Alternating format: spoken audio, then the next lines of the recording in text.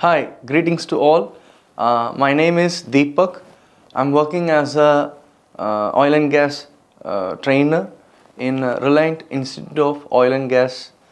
Then uh, I'm having uh, almost 14 plus years experience in oil and gas projects as well as other mechanical projects like boiler, pressure vessel, pipeline construction, rig construction, etc. So today I'm going to talk about what is oil and gas. Uh, basically, uh, everyone thinks about like oil and gas means uh, either drilling or refinery. So actually, the oil and gas is uh, you know divided into three sectors like upstream, midstream, and downstream. So before going into that subject, so let me introduce how this oil and gas has formed. So let us see what are the contents we are going to see in this uh, topic. So we are going to talk about energy source, what is uh, renewable energy and non-renewable energy source. Then we are going to talk about oil and gas formation, how the oil and gas is formed and uh, what are the techniques in order to bring the oil and gas from the ground or from the ocean floor to the surface. Then we are going to uh, have a discussion over industrial projects. What are the different uh, projects in oil and gas and uh, uh, finally how can we uh, enter into these projects and what are the necessary things we need, we need to know in order to enter oil and gas sector. So first what is fossil fuel and uh, how energy is coming from fossil fuel. So uh, first of all there are two types of energy sources. One is non-renewable, another one is renewable sources. So renewable energy sources like solar, wind, hydropower, etc. So these are renewable energy sources so which can be replenished uh, every time easily uh, by itself. But non-renewable resources takes longer time to form and also it is uh, sometimes you know it will get over like uh, it forms a, it will be having a reservoir or some level of uh, like amount of uh, energy where after we extract all those energy it will not be formed or it will take much longer time to form that source. So uh, non-renewable resources like oil crude oil and uh, natural gas then coal and also nuclear energy. So how oil and gas is formed? So what is the you know a mechanism uh, behind the formation of oil and gas? So first the marine organisms and also the ancient plants and ancient animals died after that it deposited decomposed in the ground after multiple sedimentation layers it formed a product called kerogen. So after kerogen, uh, you know, deep into the uh, soil, it uh, you know entered the in between the rocks, and uh, due to the high pressure and high temperature, it started to become an oil, and also from the oil, uh, some amount of natural gas uh, is formed. So basically natural gas is a, a hydrocarbon, purest form of hydrocarbon, uh, primarily CH4 that is methane. And also we have water vapor, hydrogen sulfide usually a byproduct when we dig or when we uh, drill. So from the oil well we get oil as well as the natural gas. So when we talk about uh, oil and gas industry, so it is widely divided into three sectors like uh, upstream, midstream and downstream. So you know if you see upstream, so it involves uh, exploration, drilling and production. Then uh, in the case of midstream, storage of oil, storage of gas, oil transportation, natural gas transportation. Then uh, when it comes with the downstream, so it is like refining and marketing. So what is refining? So it is something like you know breaking uh, the raw form of a crude oil and uh, you know the crude oil is boiled and the vapors are transferred into the FDC uh, that is the fraction distillation column and in the fraction distillation column at different heights different distillates are produced like light distillates, medium distillates and heavy distillates like kerosene, petrol, diesel, heavy engine oil, gasoline etc. So this is about the uh, industry. So upstream, midstream and downstream. So there are upstream projects, midstream projects and downstream projects. So this is what exactly the oil and gas industry is. So upstream, midstream and downstream. So we make a rig and we drill and we produce oil as well as the gas.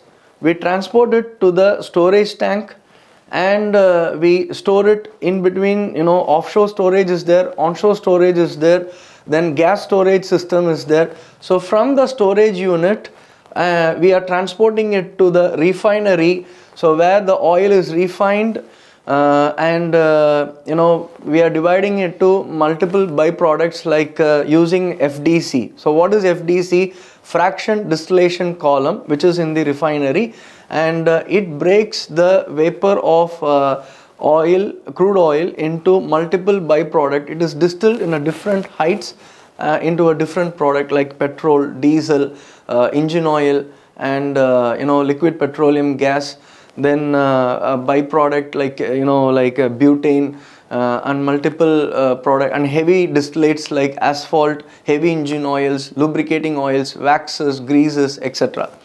So uh, even the natural gas is uh, compressed and uh, frozen uh, like at the temperature of minus 163 degrees Celsius and it is compressed into a liquefied natural gas. When the natural gas is frozen and compressed it will become a uh, LNG, liquefied natural gas and that liquefied natural gas is again sent to the downstream industry where the gasification unit is there. So they turn back the LNG into CNG, compressed natural gas. So now we are going to see uh, different projects like upstream projects, midstream projects and downstream projects. So first we will see the upstream project.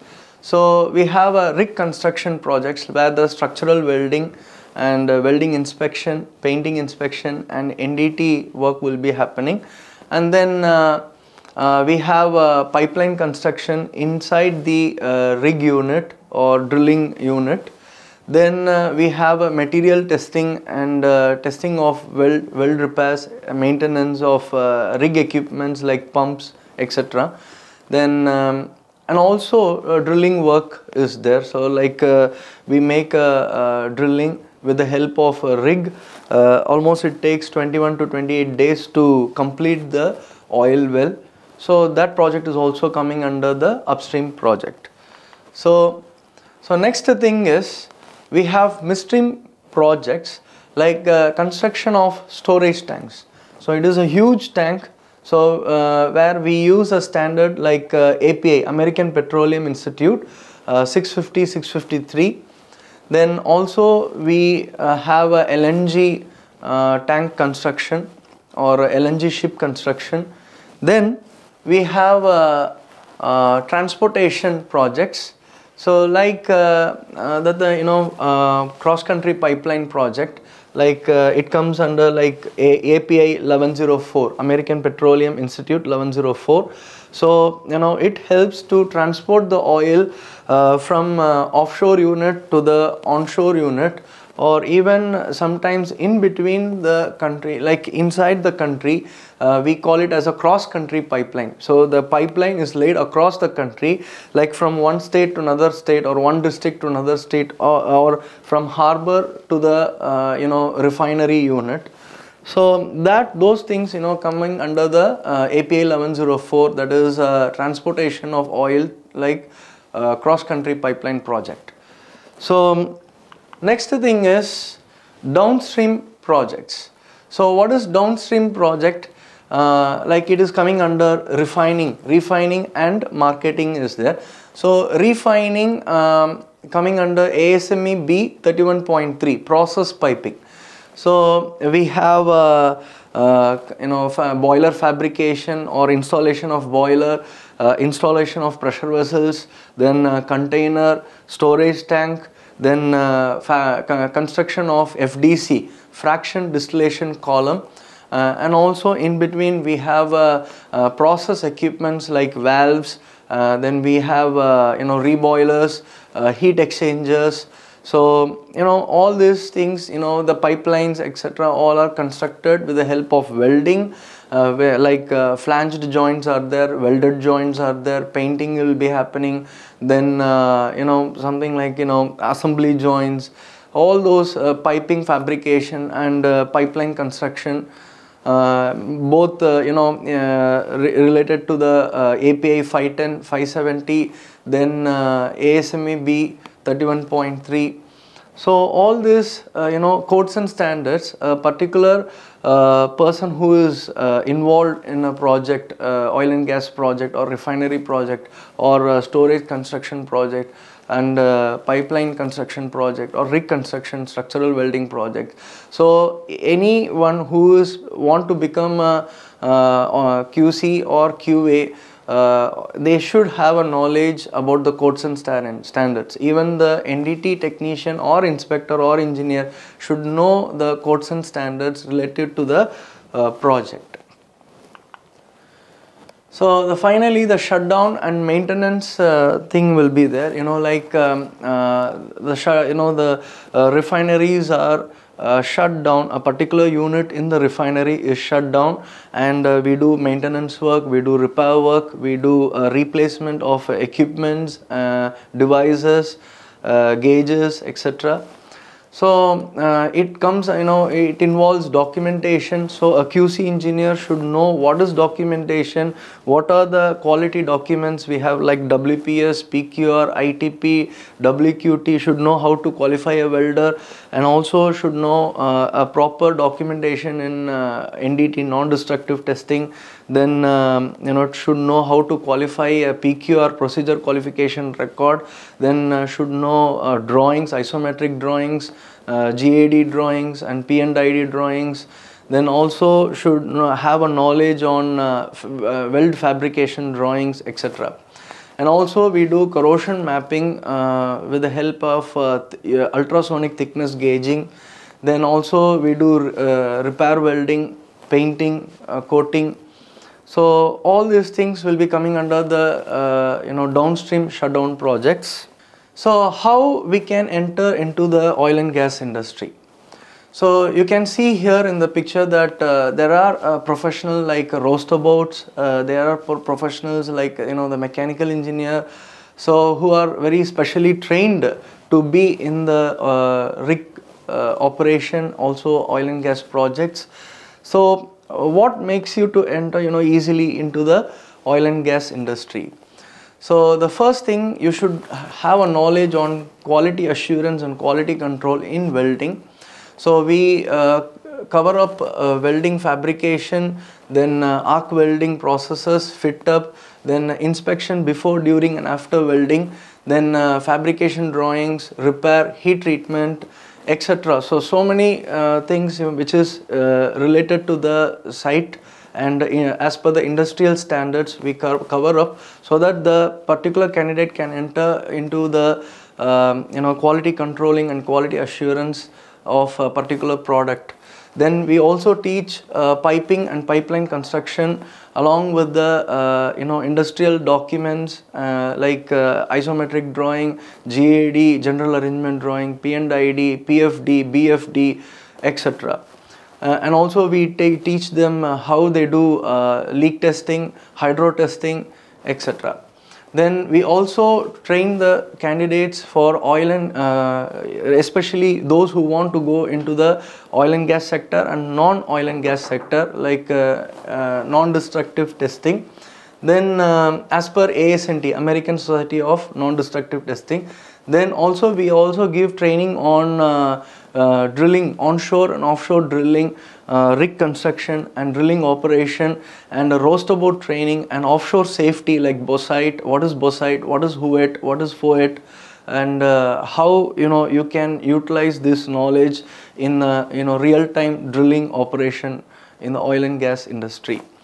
So uh, if you have uh, these knowledge so apart from uh, oil and gas industry where else you can apply? You can apply you can apply job for in uh, uh, automobile sector aviation boiler pressure vessel uh, pressure parts fabrication vessel fabrication pharmaceutical units chemical industry fertilizer company pipeline projects then foundry like casting forging then steel manufacturing steel pipe and tube manufacturing then uh, cnc uh, machining after the machining is over so you are about to do uh, conduct non-destructive testing and uh, should know any other crack or uh, you know um, any other defects present in the material. So you can also uh, conduct if you know ndt non-destructive testing you can also perform in-service inspection. So after a long period of time uh, small small crack in the surface will happen in the uh, long term you know uh, the the product which is in the long term service like pipeline uh, gears and uh, any other like lifting equipment rotary equipment etc so you can also work in the energy units like windmill uh, construction then shipyards. You can work in shipyards. So finally we have come to a conclusion. So we have covered uh, what is oil and gas and what is oil and gas industry like what is upstream midstream downstream and uh, what are the projects in upstream midstream and downstream? And what else we have to know uh, we get trained so that we can easily enter into the uh, oil and gas industry. Hope you have all understood um, the things which i have discussed in the in this session. So if you have further doubts you can contact us to the given number below in the description. And uh, see you in the next session. And i am deepak from reliant institute of oil and gas Thank you.